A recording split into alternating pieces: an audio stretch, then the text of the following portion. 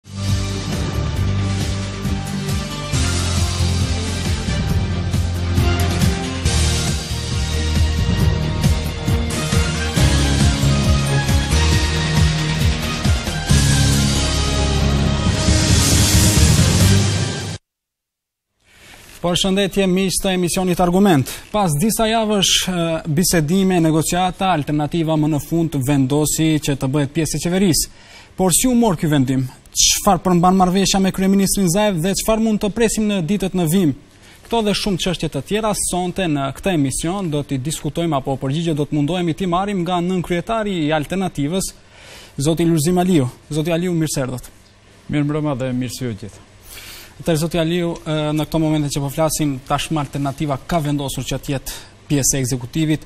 A mund të na thoni se si u mor ky vendim?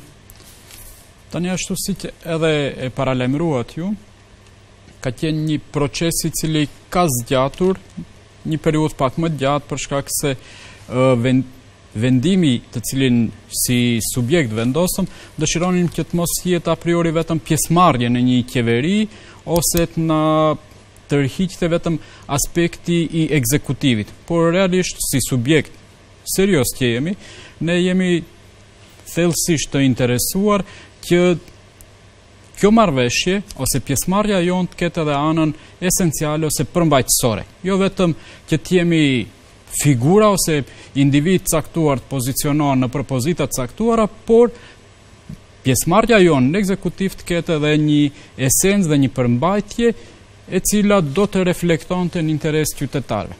Dhe sigurisht pas periudhës Që ndoshta edhe më vonë do të do të ndërlidhen dhe, dhe me pyetje pasi dështoi mundësia për t'u kriju një shumicë e re në bllokun opozitar, atëherë ne si subjekt politik në organet e partisë gjykuam se me prioritet janë rrugëtimi euroatlantik i vendit tonë dhe krijimi apo hapja e mundësisë që të bisedohet me shumicën ekzistuese parlamentare me kryeministrin që është akoma në detyrë zotin Zaev, të ulemi për të biseduar dhe për të negociuar për aspektin programor fillimisht, aspektin politik dhe pastaj edhe për çështjen e ekzekutivit.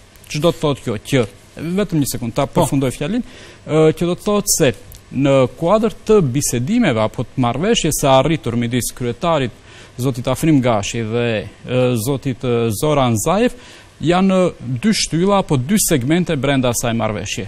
Është marrëveshja që ka në vete ngërthen programin politik edhe pikat që kanë të bëjnë që ma merr mendja se për herë të parë ndodh që kyçja në një në një qeveri, në një shumë krimi, në një shumicë të re apo një qeverisje, thyhet me pika të caktuara që për ne janë shumë domethënëse, por besoj se edhe për qytetarët dhe veçanërisht për shqiptarët, ë përmbajtja e këtyre pikave dhe pastaj edhe ditëve të fundit ajo marrëveshja tjetër e ndarjes së përgjegjësive ekzekutive brenda pozitave qofshin ato në nivelin më të lartë të ekzekutivit apo dhe në nivel të drejtorëve. Po, zoti Aliu, duhet të kujtojmë që një muaj më herët ju nënshkruat apo dhatë, në 60, ishit në mesin e 61 nënshkrimeve për rrëzimin e kësaj qeverie. Pra dhe për një muaj, pra kemi një, një transformim apo një rreshtim në kampin tjetër. Si shpjegohet kjo, ky ndryshim drastik i pozicioneve në, në këtë skenë? Funksionimi jonë periudhën e fundit, ju ju jeni të vetëdijshëm se ne kemi qenë në koalicion me Aleancën për Shqiptarët dhe kemi qenë në bllokun opozitar. Dhe këtë e dëshmuam me vetë firmosjen të deputetëve tonë të krijimit shumicës së re. Dhe tani është e qartë se ato të cilët e inicuan një nismë të tillë nuk arritën që t'i sigurojnë 61 nënshkrimet. në fakt i morën 61 nënshkrime por dhe por nuk nuk u arrit të realizohet në ditën kur duheshte që të votohet votbesimi i qeverisë. Dhe po të realizohej ajo, ne ishim aty për shkak se për të qenë konsistent me atë që vazhdimisht e kemi cilësuar se shumica në cilën është pjesë edhe BDI-a dhe politikat të cilat i ka ndërmarrë BDI-a deri tani, ne kemi gjykuar se nuk kanë vepruar mjaftueshëm në interes qytetarëve dhe nuk kanë përmbushur pritjet e qytetarëve dhe veçanërisht pjesës shqiptare. Dhe prandaj edhe ne brenda atij blloku opozitar, deputetët e Alternativës e kanë mbështetur atë nismë. Nuk është faji i joni që ajo dështoi. Dhe kur e analizon pastaj se ajo shumicë ose ajo nismë nuk arriti që të realizohet me sukses, kuptohet që në momentumin në cilin gjendet vendi, ne nuk dëshironim që të jemi pengesë e rrugëtimit euroatlantik të vendit. Për shkak se, në qoftë se ne do të vazhdonim të ngeleshim brenda atij blloku, do të krijoheshte një situatë, një ngërç i funksionimit të institucioneve të shtetit dhe i qeverisë, e cila pastaj do të kishte reperkusione edhe regionale dhe dhe më gjerë. Sigurisht se marrja e datës për fillim bisedimeve me bashkim, për aderim në Bashkimin Evropian, janë të lidhura në pako Republika e Shqipërisë edhe Maqedonia e Veriut. Dhe ne nuk jemi nisur vetëm prej interesit tonë të ngushtë partiak, por duke pas ose duke mbajtur llogari edhe interes pak më të gjerë dhe interes kombëtar, sigurisht e keni ndjekur se kryetari Afrim Gashi realizoi edhe një takim, po, edhe me kryeministrin shqiptar zotin Edi Rama, mendojmë që nuk duhet që të akuzohemi si vend se ne do të pengonim zhvillimin e apo rrugëtimin e mëtutjeshëm dhe marrjen e datave edhe për shtetin shqiptar. Dhe prandaj kemi gjykuar se në këtë moment është më me rëndësi që ne ta krijojmë një shumicë më stabile, një shumicë më të madhe me të cilën do të gjeneronte një qeveri më stabile dhe pastaj kjo nuk do të nuk nuk besoj se shteti bullgar dhe ë përfaqësuesit e Bashkimit Evropian do të na e marrin si të metë se ne ishim ato cilët penguam stabilitetin dhe penguam rrugëtimin. Tani presim, shpresojmë që kjo shumicë e krijuar stabile, ndryshimet që ndodhen edhe në shtetin bullgar. Presidenti Radev tani ka mandat të plotë 5 vjeçar, pritet mandatin e ka marrë një strukturë e re, në po, për të krijuar qeveri në shtetin fqinjë të Bullgarisë dhe besojmë se do të fillojë që të zgjidhet edhe çështja dhe të mos të tërhiqet vetoja apo pengesa që e bën Bullgaria për Maqedoninë dhe kjo me automatizëm do të nënkuptonte hapjen e rrugës dhe vazhdimin e rrugës edhe për shtetin shqiptar. Po, do të flasim pak më vonë edhe për çështjen për samitin e dhjetorit, pra që do të mbahet edhe pak javë, të, mbe, të ngelim edhe pak tek vendimi që keni marrë. Pra kemi pasur eksponentë të Alternativës të cilët janë shprehur dhe publikisht që janë kundër pjesëmarrjes në qeveri. Pra kemi Zeqirija Ibrahimin, kemi edhe disa eksponentë të tjerë, të cilët edhe publikisht kanë dalur kundër kyçjes tuaj në qeveri. Pra keni pasur debat brenda brenda partisë në këtë drejtim dhe sa ka qenë i vështirë ky vendim për t'u marrë.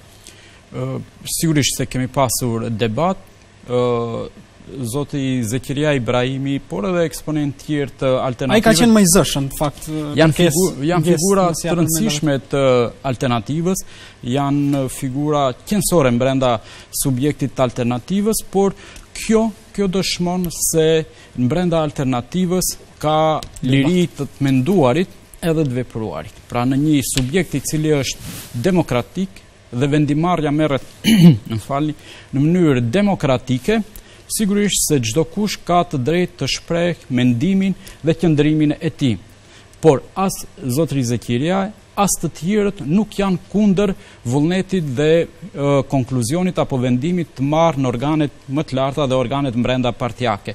E respektojmë qëndrimin dhe mendimin që ka Zekirjai, për qëndrimin që ka mbajtur, por edhe ai tani do ta respektojë dhe do të jetë konform qëndrimeve dhe vendimeve që ka marrë subjekti, pra organi më i lartë i partisë. Pra keni një unitet në fund të fundit. Në fund brenda zhvillohet, është proces demokratik që të mos pajtohemi, por në fund dalim në formë unike të gjithë qëndrojmë pas vendimit që ka sjellë Kuvendi dhe të cilin e prezenton ose e përfaqëson kryetari. Po, zoti Aliu, partneri juaj, ta quajmë tashmë i deridjeshëm, Aleanca për Shqiptarët, u shprehën të befasuar në fakt tha e tha kryetari apo deputeti Elmi Aziri tha se jemi të befasuar me vendimin e alternativës për pjesëmarrjen në qeveri ndërsa edhe gjatë bisedimeve duhet të kujtojmë që kërkuan publikisht nga ju që të prononconi se në cilën pozicion jeni a e braktisët ju koalicion në këtë drejtim pra, jeni ju ato të cilët e latë aleancën Unë nuk do, nuk do të kisha thënë se edhe e kemi lënë anësh edhe se ato duhet të ndihen të befasuar. Për shkak se edhe pjesa e bisedimeve, edhe zhvillimet që kanë ndodhur kohën e fundit kanë qenë edhe publike edhe transparente. Koalicioni me Aleancën për Shqiptarët është krijuar për të marrë pjesë në zgjedhjet parlamentare edhe në zgjedhjet lokale. Qofshin ato të vitit 2020, qofshin zgjedhjet lokale të 2021-shit. Dhe koalicioni jonë ka vazhdu, ka funksionuar në mënyrë të shkëlqyer, mund të them. Dhe ky koalicion nuk arriti që as në zgjedhjet parlamentare, të marrë besimin apo të marrë numër më të madh se oponenti ynë politik që është BDI-ja dhe të instalohemi apo të marrim pjesën e ekzekutivit, por edhe në zgjedhjet më falni. Edhe në zgjedhjet lokale koalicioni ka funksionuar përsëri në mënyrë të shkëlqyer, por rezultati ishte ky që është, ne nuk arritëm që të marrim numrin më të madh të komunave, Edhe nismën e fundit që u inicua kryesisht prej zotit Taravari për të kërkuar votëbesimin e qeverisë, edhe atë nismë e mbështetëm, dhe tani kur erdhëm në një pozitë që të ngelesh në pozitë e cila do të gjeneronte zgjedhje të parakohshme dhe zgjedhjet e parakohshme në qoftë se do të ndodhnin favorizojnë favorizojnë vetëm dy subjekte që janë VMRO-n dhe BDI-n, i bie është e alogjikshme që ne të qëndrojmë mbrenda atij koalicioni ku të vetëdijshëm do të jemi se faktorizojmë një subjekt tjetër të cilin e kemi pas oponent politik deri tani edhe sigurisht me veprimet tona do të vazhdojmë që përsëri të krijojmë distinkcion me ato. Dhe unë nuk besoj A është konsultuar Aleanca për Shqiptarët, apo a është konsultuar, a është njoftuar se ju, ju jeni duke zhvilluar bisedime me zotin Zaev? Po, po, zoti Afrim Gashi, kryetari i Alternativës, ka pas kontakte të vazhdueshme edhe me zotin Ziadin Sela, lidhur me këtë. Pastaj sa i përket konsultimit, apo them befasisë, apo prishjes njëfarë mënyre të harmonisë, kohezionit mbrenda koalicionit, e kemi nga ana e Aleancës praktikisht më, më herët përpara. Që në midis rrethit të parë dhe rrethit të dytë të zgjedhjeve lokale, ato duke mos na pyetur dhe duke mos u konsultuar, duke mos marrë pajtueshmërinë edhe prej Alternativës, krijuan apo lidhën koalicion bashkëpunim me Lëvizjen Besa. që nuk ishte pjesë e po, po, nuk ishte pjesë e koalicionit dhe ato e mbështetën paraprakisht Lëvizjen Besa në Tetovë edhe në Zhelinë. Pas rrethit të dytë, përsëri, duke mos e përfill aspak rezultatin dhe vullnetin apo të marrin dakordësinë e Alternativës, ato kanë krijuar shumicën në këshillin e komunës së Tetovës, ato kanë bërë përsëri një koalicionim me Lëvizjen Besa edhe me VMRO-në në Tetovë, me lëvizjen Besa dhe me VMRO-në edhe në Bërvenicë, edhe tani unë nuk e kuptoj se pse duhet të jenë befasuar në qoftë se ne si subjekt politik që kemi autonominë tonë edhe në veprim, duhet të konsultohemi ose të pyesim. Ne jemi koherentë me vendime dhe me gjykime që i sjellin anëtarët edhe mbështetësit e alternativës. Edhe bashkëpunimi i cili ka qenë me Aleancën, unë mendoj se do të vazhdojë të funksionojë në nivel lokal, atje ku kemi bashkarisht këshilla të caktuara që fatkeqësisht ato nuk e kanë respektuar as në Tetovë, as në Bërvenicë. Pra mendoni se ka bërë një lloj tradhti Aleanca në këtë drejtim apo është fjalë e rëndë për të thënë, për të thënë tradhti, por mendoj se apo nuk ka respektuar marrëveshjen. S'e ka respektuar marrëveshjen. Pra, nuk është parimore Nuk është parimore, fillimisht aleanca karshi partnerit të koalicionit, t'i them, dhe pastaj për të njëjtën punë, që ka dhënë shkas dhe alibi, të thotë se ne nuk jemi parimorë ose nuk kemi qëndruar mbrenda atij koalicioni i cili afatgjatë edhe për zgjedhje të ardhshme do të ishte i dëmshëm për subjektin tonë. Po. Zoti Aliu, për vendimin tuaj sot është komentuar edhe nga opozita maqedonase nga VMRO DPMNE-ja, por le të shohim lus regjinë të të të, të ndjekim materialin e përgatitur nga kolegia Meral Ismaili në lidhje me reagimet e sotme apo në lidhje me reagimin e VMRO DPMNE-së pas vendimit të alternativës që të bëhet pjesë e qeverisë. Kryetari i VMRO DPMNE-së Hristijan Mickovski duke e cilësuar zgjerimin si afatshkurtër dhe tregti me poste, thotë se marrëveshja ka shkaktuar pakënaqësi jo vetëm brenda koalicionit, por edhe vetë socialdemokratët. Sipas kreut të VMRO-DPMNE-së, kjo është tendencë e fundit të pushtetit për të varfëruar qytetarët. Mua kjo më ngjason në aktin e fundit për shkatërrimin e Maqedonisë në regji të Zoran Zaevit dhe LSDM-së, pasi që këtë që e shohim e që ndodhi ditëve të fundit, Paraqet jokulturë politike të Zoran Zaevit dhe LSDM-së dhe përpjekje që ta vazhdojnë për disa javë fatin e tyre politik. Kjo që po ndodh është e turpshme, pasi politika u kthye në tregti si në tregun e gjelbërt. Në vend që të flasim për strategji, për vizion, vlera, projekte dhe zhvillim, debati po bëhet se kush, sa vende ministrash e drejtorësh ka marrë, Sa anëtarë në borde drejtuese dhe mbikëqyrëse dhe në fund të ditës gjithë këtë e paguan qytetari i varfër. Pakënaqësi shfaqën edhe vetë partnerët e koalicionit duke filluar nga Lidhja Demokratike e Pavle Trajanov, të cilët zgjerimin e quajtën si tendencë për të zhbërë balancin etnik brenda qeverisë. Marrëveshja Zaev Gashi erdhi në fundjavë, e cila i mundëson Alternativës që të drejtojë tre ministri, atë të shëndetësisë, shoqërisë informatike dhe një pa resor, si dhe do të përfaqësohet me tre zëvendësministra. Në studio, Zoti Aliu, si i komentoni këto deklarata të kryetarit të VMRO DPMNE-së Hristijan Mickoski? Quan pra një qeveri e cila do të zgjasë vetëm për pak muaj, thotë. Mendoj se Tani, si them, ndoshta nuk është edhe e udhës për t'i komentuar deklaratat e të tjerëve, ato kanë qëndrimin e tyre, por unë mendoj se meqë Zoti Mickoski është person publik, është kryetar i partisë më të madhe opozitare VMRO DPMNE-së, ka të drejtën edhe ai edhe ai që të të japë vlerësimin e tij edhe për këtë shumicë, për shumicën e re të krijuar. Besoj se ai është i vetëdijshëm se e kishte mbështetjen tonë. Por po të analizohen rrethanat i bie se ai s'ka pasur kapacitetet e mjaftueshme ose potencialin për ta krijuar një shumicë të re.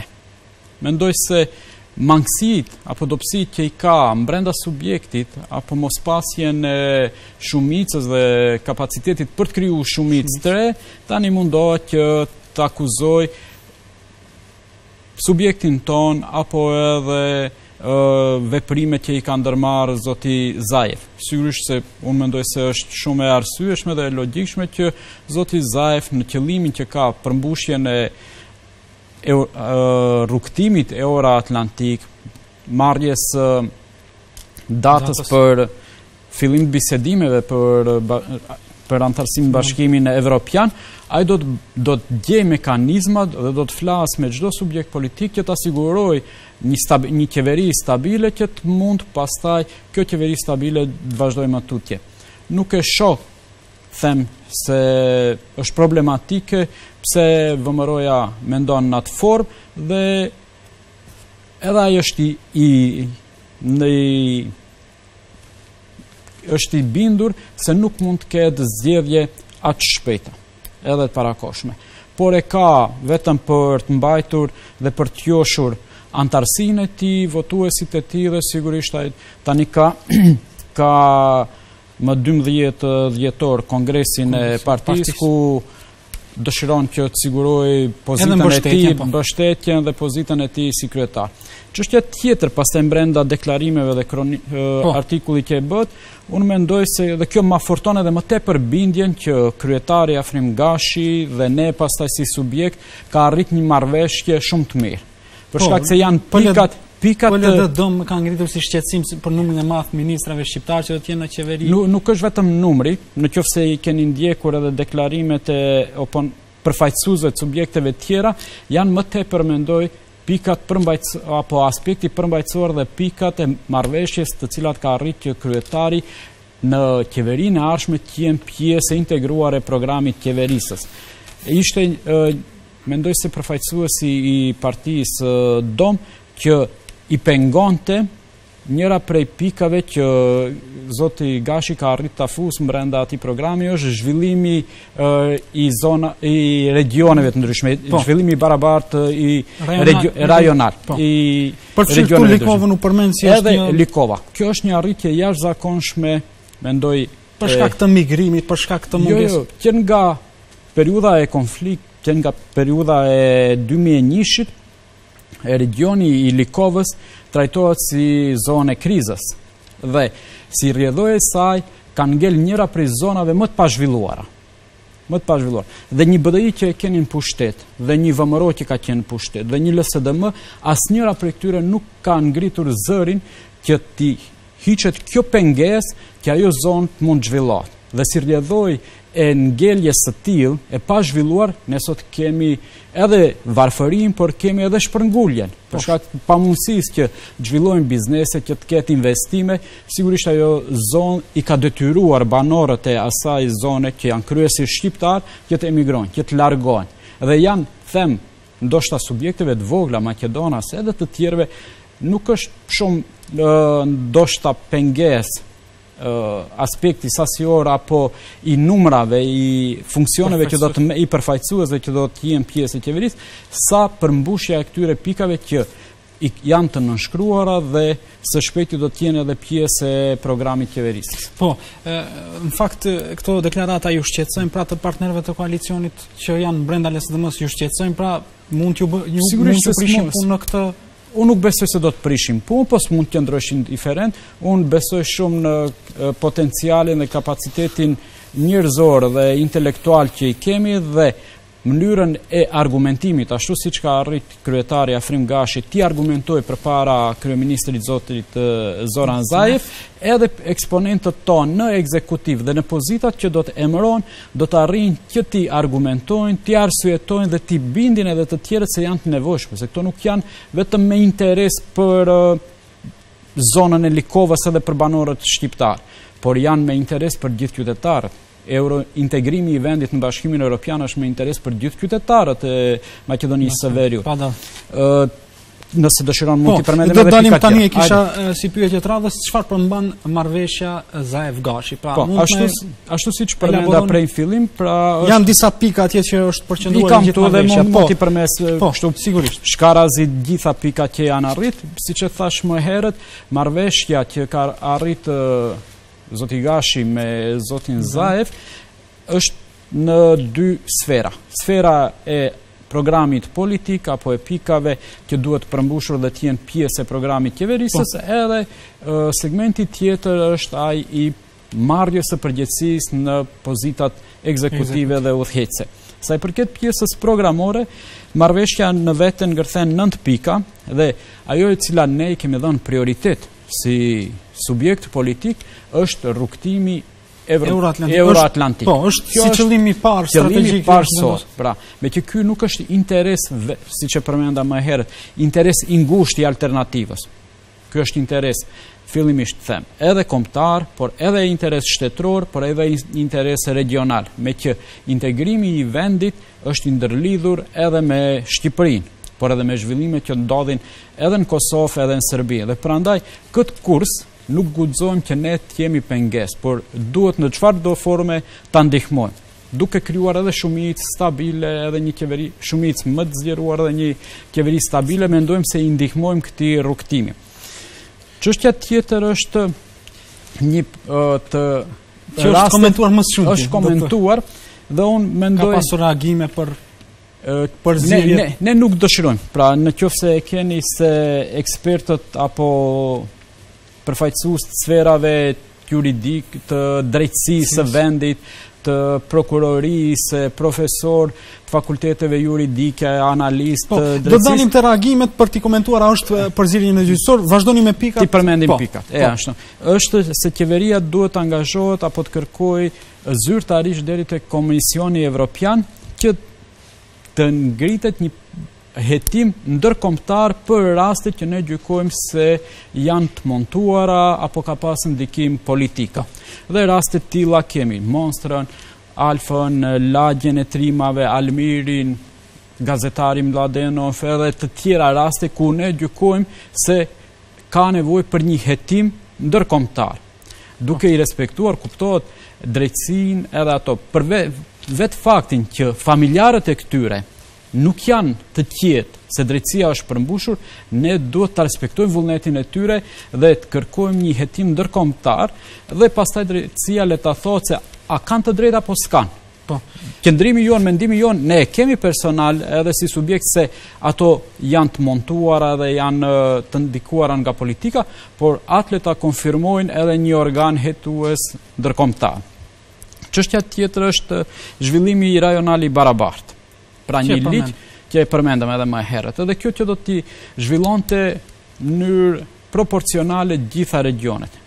Ne e dimë se jo të gjithë regjionet, veçanërisht regjioni i Kumanovës, por edhe i pjesës Maqedonisë. Pjesa Pollog. E Pollogut edhe ashtu nuk janë zhvilluara ë proporcionalisht apo në mënyrë të barabartë si zonat të tjera. Dhe kët edhe me ligj edhe brenda qeverisë ligjërisht ekziston ligji, por nuk ka pas vullnet për ta përmbushur. Dhe ne do kërkojmë me ngulm që të mund edhe kjo të përmbushet. Po.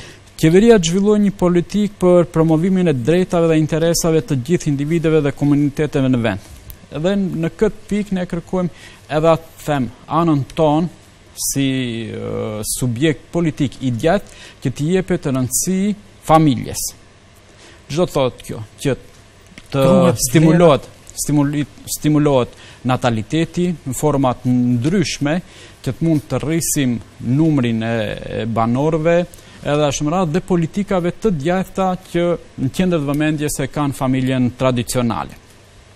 Pika tjetër, Ka të bëjë me qeveria duhet që të analizojë ligjet dhe politikat e përgjithshme të cilat kanë të bëjnë me luftën kundër krimit dhe korrupsionit dhe ato t'i po. përmirësojë në drejtim të zbatimit më efikas të tyre. Po, e kemi veç më edhe një zëvendës kryeministër për luftën e korrupsionit. Po, po, por akoma vazhdojmë që ë qytetarët të kenë rezerva apo akoma të vërehen raste korruptive edhe raste të krimit të organizuar e të korrupsionit edhe ashtu me radhë. Dhe ne do të bëjmë çmos, këtë e kemi dëshmuar. Po, kanë filluar, duhet të jemi pak të sinqertë se kanë filluar kjo qeveri ka filluar disa kampanja për kundër korrupsionit. pra janë ndarë mjete buxhetore për të denoncuar korrupsionin, kemi zëvendëskryeministër, pra çfarë tenton alternativa përmes kësaj pike? Ne, unë do të jap vetëm një, një shembull shumë konkret me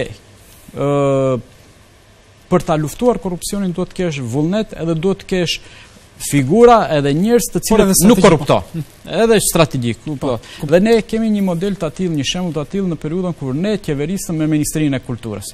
Atë model të mundohemi ta implementojmë te çdo ministri. Zero harxhime dhe transparencë maksimale e kanë pas të dy ministrat tonë që kanë qenë në Ministri të Kulturës. Po, edhe por, zonja Asafi, tek çështja, edhe Hysni. Tek çështja e Ministrisë së Kulturës nuk duhet të harrojmë edhe padinë që duhet të ngrejë antikorrupsioni për ministrin. Ato ajo është ende në si them në në nivel të hetimeve apo ajo nuk është e konfirmuar se pra, ka pas keqpërdorime. Insistoni në atë se ka qenë gjithçka në rregull dhe transparente në në punën e plotësisht. Veçanërisht për ministrat tanë dhe veçanërisht për zotni Hysni Ismailin, deputetin jam, aktual. Deputetin aktual jam plotësisht i bindur se s'mund të gjejnë asnjë gram të korrupsionit edhe të punës paligjshme. Punës paligjshme, dakord?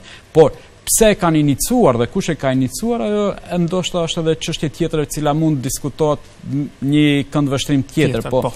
sa i përket kësaj pike, pastërtisë, pastërtisë së figurës së tij, është është i padiskutueshëm. Po, është i padiskutueshëm. Pastaj pika tjetër është të ridefinojë ligjin për përmbarues. Për përmbarues. Po, është edhe kjo që i tangon më shumë të sigurisht. Edhe shqiptarët po edhe çdo qytetar veçmas, se përmbaruesit pra jo se nuk ka një ligj, ekziston një ligj, por ne do dëshirojmë që të ndërhyjmë dhe kjo drejtpërdrejti do të ndikonte në standartin dhe do të prekte çdo individ. Mm. Them shumicën e individëve. Për shkak se ë sot ne kemi një numër të madh të qytetarëve, të banorëve të Republikës së Maqedonisë së Veriut, të cilët me rrogat që kanë, me standardet që kanë, kanë vështirësi apo kanë qenë detyruar për të marrë hua, qoftë te banka, qoftë për të ngel pa paguajtur edhe këto llogaritë e taksave komunale dhe për një arsye të atillë pastaj i bllokohet gjithë llogaria ose shpeshherë ndodh që për një borxh të vogël të ngelur, po simbolik, simbolik, është kamatat nuk... pastaj që janë rritur intereset që janë shtuar, është bë, është shumëfishuar borxhi Për hir për shkak për shkak se përmbaruesit, përmbaruesit kanë rritur ose unë kam rastin që kam dëgjuar që përmbaruesi nuk ia dërgon lëndën apo vendimin për ta paguar po, borxhin me arsye që ajo të vonohet me me muaj apo me vite po, që të që të rritet vlera që do të marrë pastaj përmbaruesi. Dhe ne e kemi idenë që të ndërhyjmë te këto detaje për t'ua lehtësuar harxhimet apo vlerat e mëdha që u rriten dhe borxhet që u shtohen qytetarëve.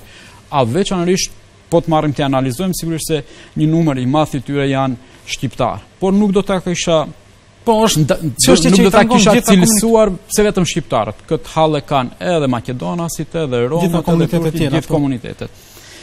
Çështja pika tjetër është ndërtimin e strategjisë nacionale për zhvillim dhe ngritje të cilësisë në arsim. Përgjithsisht, çfarë është alternativa në këtë drejtim pra? Ne ne si subjekt sigurisht në qoftë se na keni ndjekur edhe paraprakisht ne kemi pas uh, sugjerimet, vërejtjet tona për sistemin arsimor, për gjitha nivelet edhe për arsimin fillor, edhe për arsimin e mesëm, edhe veçanërisht për arsimin sipëror. Në këtë drejtim ne mendojmë se Ky model, ne e kemi kundërshtuar konceptin për arsimin fillor. Sigurisht se ajo tani ka kaluar, fillon prej shtatorit ka filluar të implementohet, por do do të ndërhyjmë për ta reviduar ose për parë se çfarë mund të përmirësohet. Çështja e po, digitalizimit tek sfera arsimit. Unë jam po, po, e i sferës arsimit, në arsim ka mbi 20 vite. Çfarë shihni si defekt që duhet të përmirësojë Alternativa? Ne thash në gjitha nivelet ka hapësirë dhe ka nevojë për të ndërhy. Edhe në arsimin fillor, edhe në arsimin e mesëm, edhe në arsimin e lartë universitar. Ajo çfarë ne kërkojmë, veçanërisht për arsimin e lartë universitar, krijimin e një trupi apo një organi në të cilin do të merrnin pjesë edhe nga Bashkimi Evropian apo Komisioni Evropian për të krijuar një evaluim të institucioneve të larta arsimore.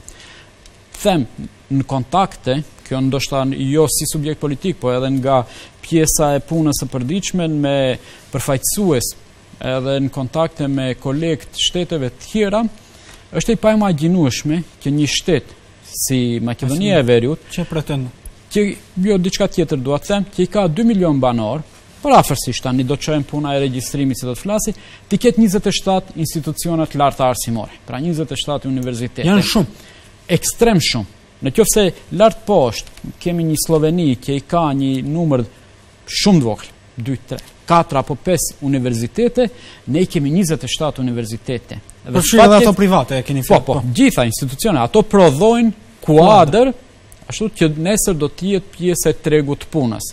Sa janë të përgaditur dhe si arrijnë që ta marrin atë titulla, të marrin atë thirrje, diplomë dhe nesër të jetë konkurrencë për pjesën e tregut të punës pa përgatitjen profesionale të duhur, ne gjykojmë se nuk është e drejtë. Dhe për këtë çështje, ajo pastaj prodhon edhe disbalanca të tjera se ato rrisin numrin e papunësisë me arsimim superior. Pra.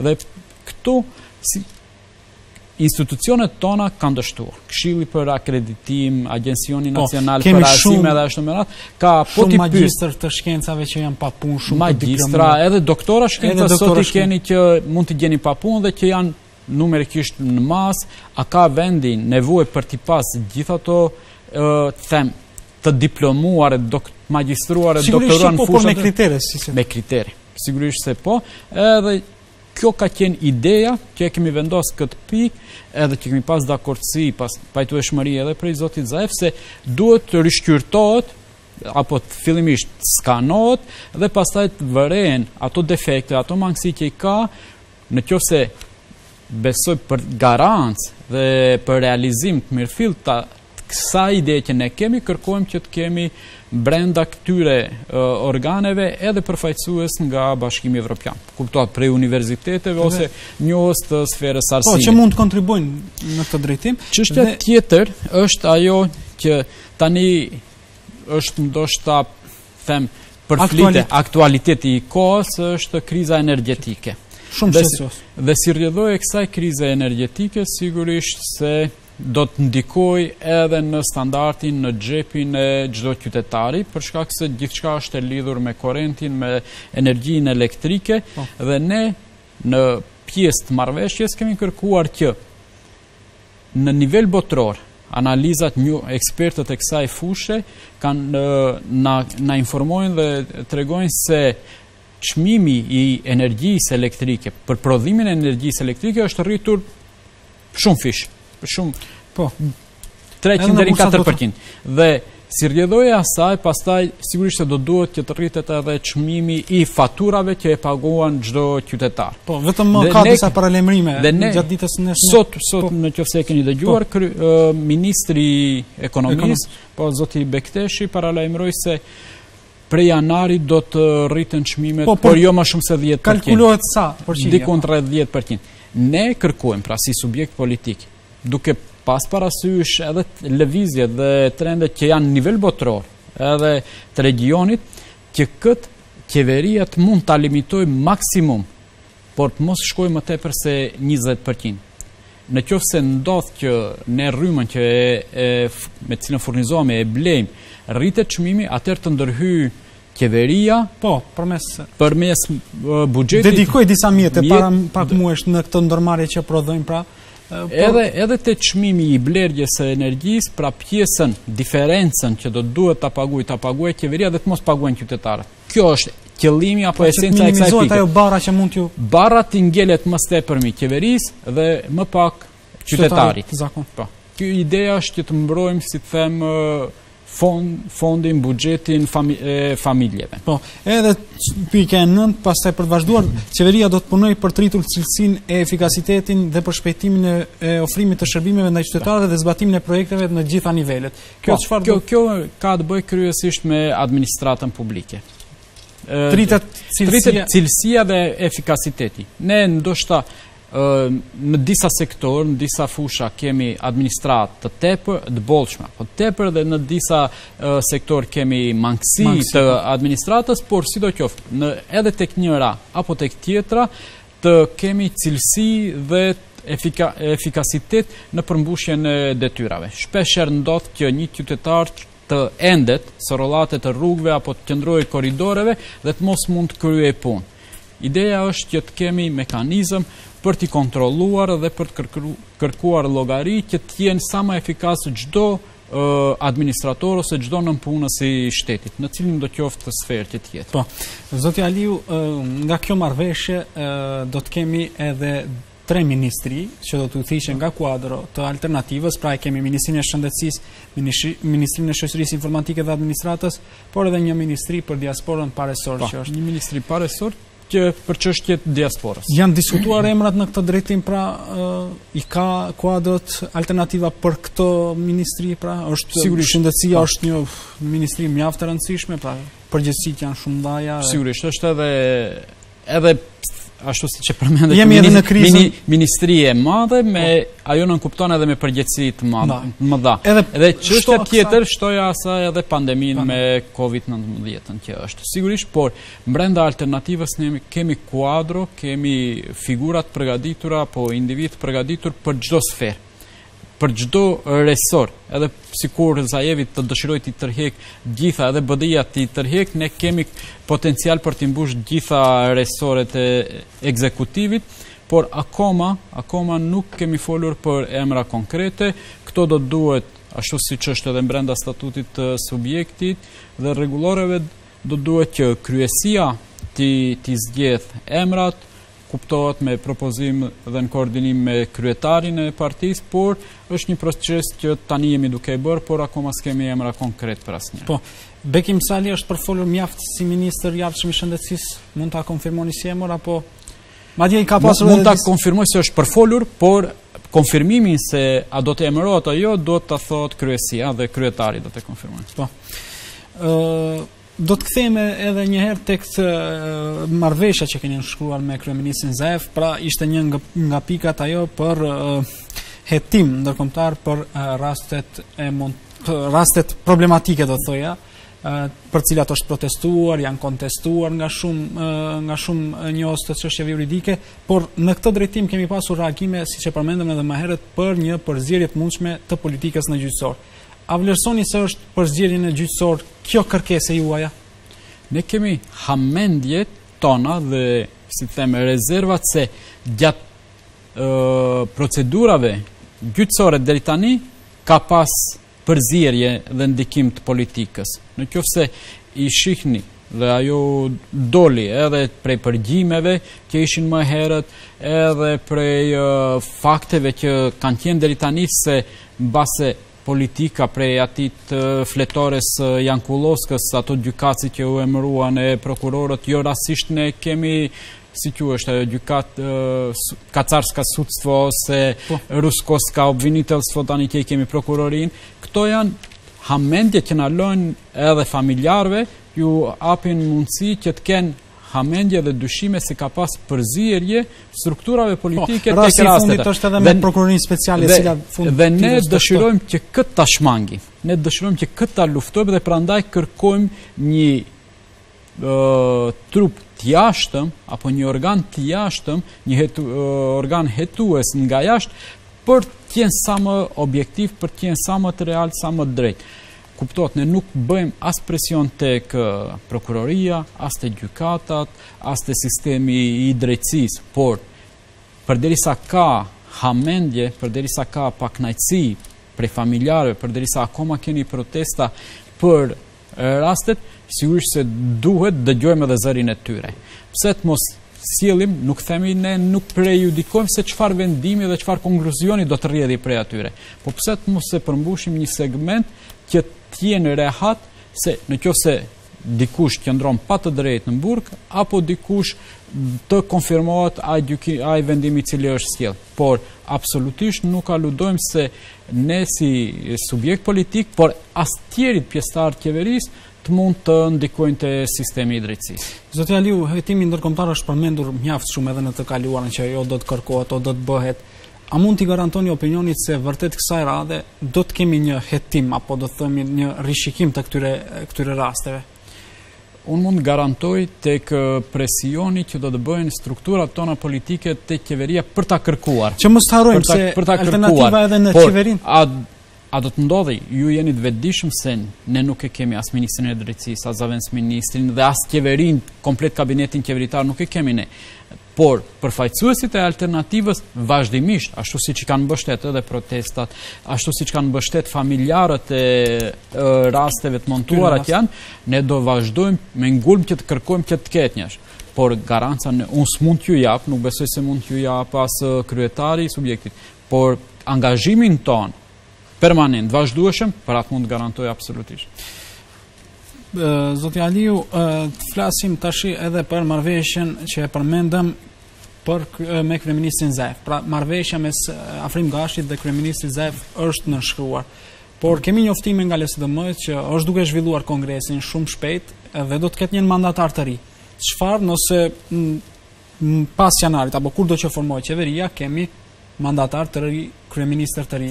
Sa vlen kjo marrëveshja apo a jeni të bindur se marrëveshja do të respektohet edhe nga mandatari i ri?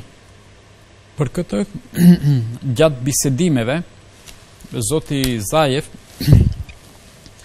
në bisedime e sipër Meqë ai dorëheqjen e ka dhënë, por akoma s'e ka vendosur në në fuqi, derisa përmbyllet procesi i zgjedhjes së kryetarit të ri në radhët e LSDM-së dhe pastaj kryetari i zgjedhur i LSDM-së të marrë edhe mandatin nga presidenti i vendit për të krijuar kabinetin e ri qeveritar, në ato bisedime është dakorduar se cilido të qoftë që do të jetë mandatari i ardhshëm, pra që nënkupton edhe kryetari i ardhshëm i LSDM-së, të respektojë këtë marrëveshje.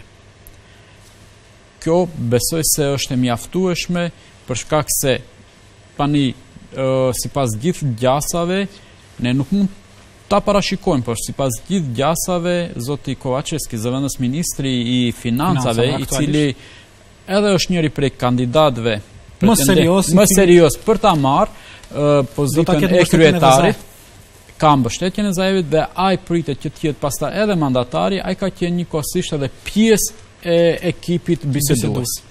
Nga ana e LSDM-së ka qenë zoti Zajev dhe ka qenë zoti Kovaçevski. Dhe Mendoj se kjo është një farë mënyre garant se marrëveshja e arritur midis kryetarit Afrim Gashi me përfaqësues të të LSDM-së do të respektohet qoftë përpara fundit të vitit deri në fund dhjetorit ose në fillim të janarit kur do të do të merret mandati dhe do të pritet të krijohet qeveria e ardhshme, që do ta respektojnë. Po, kur keni keni një datë apo parashihet sipas palëve biseduese keni qenë me vetë kryeministrin Zaev në bisedime kur parashihet të formohet qeveria e re? Po tani është e sigurt se në 12 dhjetor LSDM-ja ka kongresin në cilin do të duhet do të zgjidhet ma merr mendja një kryetar i ri i partisë i partisë LSDM. I cili njëherit edhe mandatar. Edhe pastaj me automatizëm ashtu siç janë zhvillimet brenda LSDM-s, ai do të jetë edhe mandatari.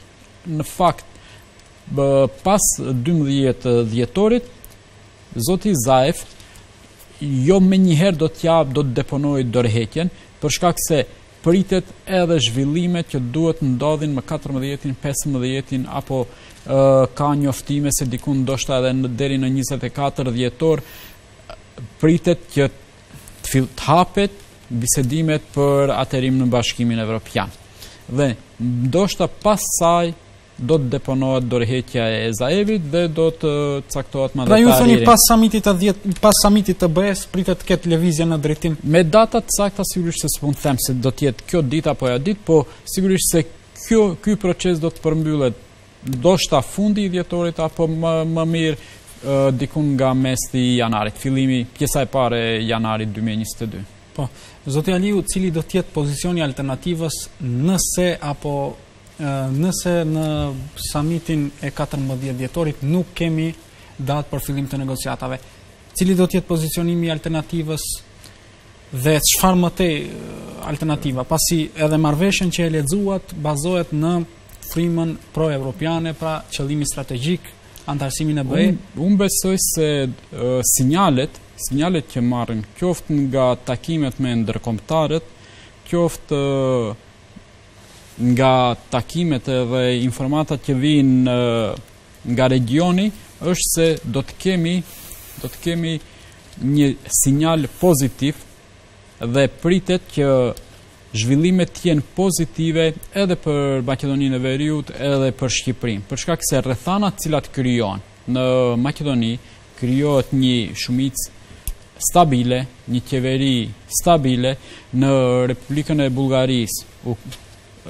Erdh një president me mandat po, të plotë, pas pesë palë zgjedhjesh, pas pesë palë zgjedhjeve tani kemi një mandatar të ri për krijimin e qeverisë me orientim pro-amerikan, themi edhe evropian, Pastaj, angazhimi i madh që ka treguar presidenti i Francës, i cili do të jetë kryesuesi i Bashkimit Evropian dhe angazhimi i tij që deri në them fillimin e vitit 2022 që të përmbyllet çështja e regjionit të Ballkanit Juglindor, i Maqedonisë dhe i Shqipërisë, Që këto janë garanca pastaj takimet që ka pas kryetari qoftë me ambasadorin e Francës, qoftë me ambasadorin e Slovenisë, edhe me takimet tjera që ka realizuar, këto në një farë mënyre na japin garancë se ky kurs pro-evropian do të vazhdojë edhe do të një farë mënyre do t'i jepet mundësia që Maqedonia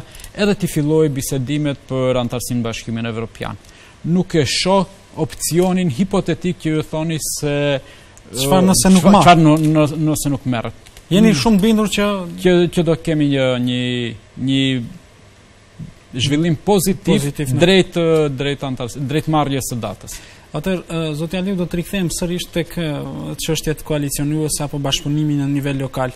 Cili do të jetë bashkëpunimi në nivel lokal, pra cilat Çfarë pritet në drejtim me VMRO DPMNE në qytetin e Shkupit, me aleancën për shqiptarët në disa komuna tjera, pra çfarë çfarë presim në ditët në vijim, pra kujt do t'i takojnë drejtoritë në qytetin e Shkupit, çfarë do të vendoset në këshill në komunën e Gostivarit ku aleanca udhëheq me komunën, pra keni një do të bashkëpunoni. Unë mendoj se do të do të ndryshojë edhe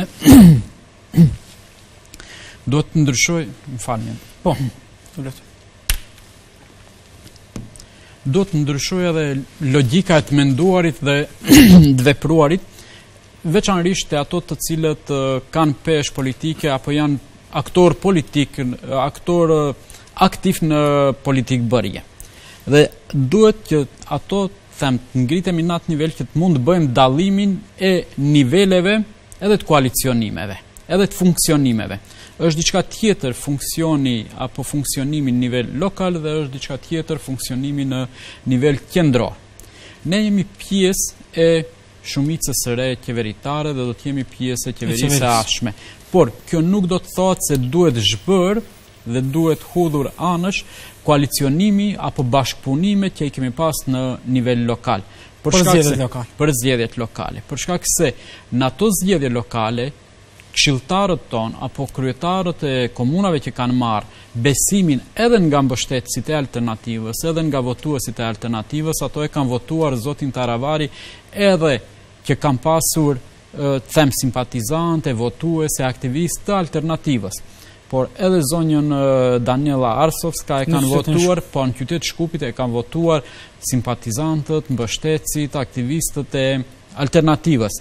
Dhe pavarësisht zhvillimeve tona në nivel qëndror, ato duhet të vazhdojnë edhe të kenë përgjegjësinë për votën e marrë në nivel lokal. Dhe unë besoj, pra ne nuk kemi ato që themi se duhet dhe këshilltarët tonë të mos jenë pjesëmarrës në vendime dhe në politikat që krijon nivel lokal. Ne i kemi tre këshilltarë në qytetin e Gostivarit. Ato do të jenë pjesë e atij këshilli dhe do kontribuojnë për të mirën e qytetarëve të Gostivarit. Nuk besoj se zoti Taravari do t'i injorojë dhe do t'i lë anësh për angazhimin e tyre, sigurisht se ato do të marrin edhe përgjegjësi konkrete për funksionim. Në kuadër të qytetit të Shkupit, në kuadër të komunës së Çairit, çdo këshilltar edhe në komunë Çairit ne nuk grupin e këshilltarëve nuk e kemi e kemi me aleancën. E kemi me aleancën, sigurisht. Nëse do të funksionojë si grup për shembull në Çair përmendet apo edhe në Tetovë. Në Tetovë veçmë u konfirmua ajo ndarja që e kishit. Që e ka bërë aleanca. Dakord, që e ka nda aleanca ka krijuar shumicë atje me Lëvizjen Besa. Edhe në Bërvenicë ka bërë diçka të tillë. Tendenca e jonë Ne do të jemi të hapur bashkëpunues për të vazhduar për të vazhduar bashkëpunimin në nivel pra lokal. Pra në këto por, disa komuna të vazhdojnë por bashkëpunimet duhet të jenë të dyanshme. Ne kemi vullnet të mirë, dëshirë të mirë për të bashkëpunuar si do të reflektojnë ato varet prej, po, tyre. është diskutuar në qytetin e Shkupit, keni pasur bisedime me zonjën Daniela Arsovska për ndarjen e, e drejtorive që janë në kuadër të kësaj komune? Akoma nuk është përmbyllur. Jeni nënkryetar po. dhe keni më shumë informacion. Po, sigurisht se Kemi pasur diskutime, bisedime, po ai ai proces akoma nuk është mbyllur. Po zoti Taravari gjatë ditës së djeshme në një televizion tha që e, kemi pritur vendimin e alternativës. Do të thotë që ju përjashtoheni në me automatizëm në këtë mënyrë pra nga Jo, ne nuk vetëpërjashtohemi, ne nuk vetëpërjashtohemi, ne jemi të gatshëm edhe realisht me Madje tha që pjesën më të madhe e kemi pasur ndërmend t'ia japim alternativës në qytet t'Shkupit. Taravari. Po. nuk e di se si mund ta jap diçka që ai se ka. Edhe ne kemi dy këshilltarë në qytet të Shkupit, që njëri ka qenë zonja nënkryetarja e AAA-së, e cila edhe u bë edhe nënkryetare e qytetit edhe një bartësi i listës që ishte po, ishte i pavarur, por që u propozua nga alternativa. Këto janë dy këshilltarët, por realisht aktivitetin dhe mbështetjen Është e ditur se trupin votues dhe numerikisht apo në aspekt sasior alternativa ka pjesën më të madhe të votave dhe mbështetjen më të madhe zonja Danela e ka marrë nga alternativa. E tani, pse taravari është thirrur në emër të saj se çfarë do të japi, Nuk e di, është e drejta e tij. Po, po në këtë drejtim raporti me VMRO-DPMNE çfarë çfarë raporti apo si do të vazhdoni në të ardhmen ta keni qasjen apo edhe raportin ndaj saj? Pra deri dje bashkarisht i mblodhët nënshkrimet. Unë mendoj, unë mendoj se qasja jonë apo qëndrimi jonë karshi Edhe VMRO-s në nivel lokal është duhet të jetë i hapur dhe bashkëpunues. Si do të veprojnë ato? Në qoftë se zoti Mickoski gjykon se ne nuk jemi uh, korrekt ndaj tij, është çështje e tij dhe si do si do të veprojë. Por unë mendoj se rrugët e bashkëpunimit dhe dyert e bashkëpunimit duhet të ngelen të hapura me të gjitha subjektet politike. Duhet një linjë e komunikimit të ekzistojë edhe për interesat që janë më madhore apo edhe interesat që janë të përgjithshme për qytetarët. Përskaj inateve personale ose kapriçe individuale që mund t'i ketë një eksponent i caktuar i ndonjë subjekti politik. Po, zoti Aliu, do të ndalemi pak edhe t'i komentojmë edhe zgjedhjet lokale të cilat sapo përfunduan para pak muajsh. Ju keni qenë shef shtabi në po nga radhët e alternativës në kuadër të koalicionit. koalicionit. Po. Si e vlerësoni rezultatet për alternativën në këto zgjedhje? Tani ë mirë, numerikisht kaluat mirë. Fit... nuk mund ta rrumbullaksoj me një fjalë të vetme, nuk mund ta rrumbullaksoj me një fjalë të vetme, për shkak se realisht Pritjet tona nuk u përmbushën. Ne prisnim që të kemi një rezultat më të mirë, por megjithatë mund të them për aktivizmin që kishin anëtarët tonë, aktivistët tonë, janë të kënaqshme, për shkak se zëri i tyre do të përfaqësohet thuajse në çdo komunë nëpërmjet këshilltarëve komunalë. Ne sot kemi një numër të konsiderueshëm të këshilltarëve, që do të na përfaqësojnë dhe do të përfaqësojnë interesat e qytetarëve, pra ato do të jenë zëri i qytetarëve thuajse në çdo këshill. Qoftë funksionojnë si pjesë e shumicës së atij këshilli, por edhe si pjesë e opozitës brenda atyre këshillave, ne do të do të përfaqësojmë zërin e tyre. Dhe prandaj them se kjo një farë mënyre është e kënaqshme, por nuk ka përmbushur pritjet tona. për shkak se ne sigurisht garuam edhe për kryetar komune edhe në Çajir edhe në Studeniçan. Si ishin kandidatë të Alternativës për shembull në edhe në Çan, edhe në Çajir edhe në edhe në Likov, edhe në Likov, po po. po. Nuk dhe... alternativa nuk ka asnjë komunë të fituar. Ky është rezultati. Ky është rezultati në Studeniçan, veçanërisht jemi të befasuar për shkak se Sipas të gjitha gjas, gjasave, por edhe vetë fakti që pastaj doli në rrethin e dytë, i bie që partneri jonë i koalicionit ka bërë kalkulime paraprake duke mos i dhënë mbështetjen e duhur kandidatit tonë Fatmirit me idenë që të kalojë zoti Azem Sadiku, Azem Sadiku dhe të pastaj të rreshtohet brenda radhëve të aleancës. Kjo pra mendoni që edhe këtu është bërë një kjo kjo një farë mënyre lë për për hamendjet tona që mund t'i kemi karshi manovrave që mund t'i kenë bërë ata. Po, zoti Aliu, përgjegjësi, do të kërkohet përgjegjësi në parti për rezultatin e dobët, pasi thatë asnjë komunë nuk ka fituar partia? Sigurisht se... Do të kemi dorëheqje, shkarkime, llogaridhënie llogaridhënie duhet pasur dhe do të ketë duke filluar nga unë. Apo sikur këto do të përmbyllen tash që jeni jo, bërë jo, pjesë e jo, qeverisë. Jo, jo, ne akoma për shkak se unë si shef i shtabit kam kërkuar prej shefave të shtabeve lokale që të hartojnë, të përgatisin raportet për çdo degë veçmas jemi në proces të grumbullimit, të analizimit, për shkak se ato raporte duhet të kalojnë nëpër degë, të miratohen dhe pastaj të sillen edhe përpilohet edhe raporti i përgjithshëm për zgjedhjet e tetorit. Këtë proces akoma nuk e kemi mbyllur, sigurisht se do të jepet llogari për çdo degë veçmas, pastaj edhe për shtabin e përgjithshëm. Do të analizohen ato se ku çaloi. Do të analizohen rezultat, rezultatet dhe procesi zgjedhor për çdo degë veçmas, për shkak se mbi bazë të asaj analize ne sigurisht pastaj mund të përmirësoni. Mund të krijojmë strategji se si do të veprojmë më tutje. Llogaridhënia nuk është proces që nuk është pjesë e alternativës, ne jemi gjithë të ndërgjegjshëm për përgjegjësi që kemi marrë mbrenda subjektit edhe sigurisht janë organet e partisë përpara cilave do të duhet që t'japim A duhet do të dorëhiqet kryetari i partisë për rezultatin e dobët? Zoti Afrim Gashi në këtë rast? Nuk e gjykoj sepse për shkak të rezultatit të dobët që ka kaluar partia. Po ne nuk është se kemi pas ndonjë komunë, por pastaj e kemi humbë.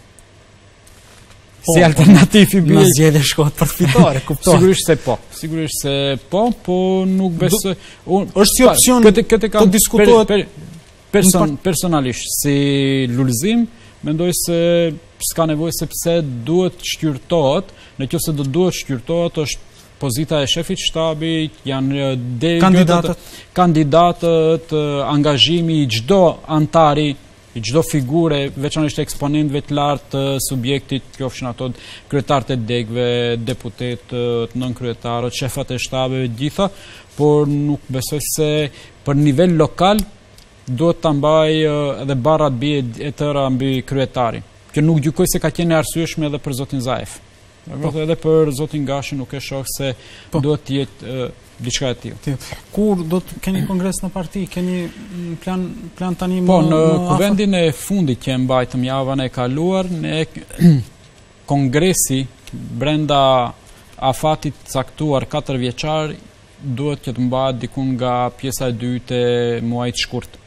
Dhe kemi caktuar dhe komisionin qëndror që do të organizojë, do të merret me organizimin e kongresit, pra që i bie shkurtin, them, pjesa e dytë e shkurtit do duhet të realizohet ose ndoshta ndoshta fillimi i marsit, por si do të qoftë pas 2 apo 3 muajve do të jetë kongresi i radhës. Zoti Aliu, për fund, meqë tashmë alternativa është pjesë e qeverisë, mund t'ju shohim juve në ndonjë pozicion në ekzekutiv. Përgjigjen e ke të njëjtën si për Bekim Sali edhe për pjesët tjera. Këtë e vendos, unë ju thashë se çdo eksponent mbrenda subjektit, pra çdokush është i denjë për të qenë në një pozitë të ekzekutivit, por atë e vendos kryetari dhe kryesia. Po. Ju faleminderit zoti Aliu. Ju faleminderit edhe juve. Po. Të dashur shikues, ne kemi ardhur në fund të kësaj interviste, në në fund të këtij emisioni, ishim me nënkryetarin e Alternativës, zotin Lulzim Aliu, për të diskutuar vendimin e Alternativës për t'u bërë, për t'u bërë pjesë e qeverisë. Unë ju falënderoj që ishit me ne dhe bashkë mirupafshim.